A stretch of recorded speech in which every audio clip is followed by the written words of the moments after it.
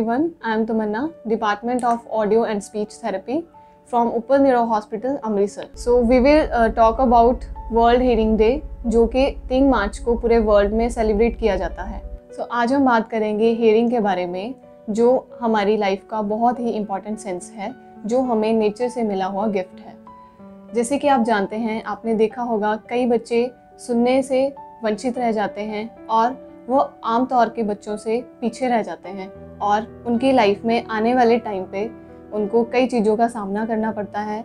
वो अपने नॉर्मल बच्चों से पीछे रह जाते हैं। उनकी ग्रोथ में कमी आती है। उनकी स्पीच में प्रॉपर डेवलपमेंट नहीं होती है। तो साथ ही आपने देखा होगा हमारे फैमिली में जो बड़े बुज़ुर्ग लोग होते हैं, उनमें समय के साथ सुनने में कमी आ जाती है, जिससे उनका फैमिली के साथ इंटरेक्शन कम हो जाता है या वो अपने इमोशंस नहीं रख पाते हैं।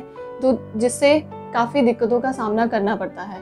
तो उन लोगों को इग्नोर ना किया जाए, उनके साथ सामान्य तौर से बात की जाए और उनकी प्रॉपर टाइम पे हेयरिंग एवेल्यूएशन कराई जाए, जिससे वह अपना सामान्य जीवन जी सके। तो आज वर्ल्ड हेयरिंग डे पे आपको ये मैसेज देना चाहूँगी कि आप हैवी साउंड से दूर रहें नॉइज़ पोल्यूशन को अवॉइड करें और अगर आपको सुनने में कमी आ रही है तो अपना प्रॉपर हेयरिंग एवेल्यूएशन करवाएँ, ताकि उसे अच्छे से ट्रीट किया जाए और आपको, आप सामान्य जीवन जी सके। Thank you so much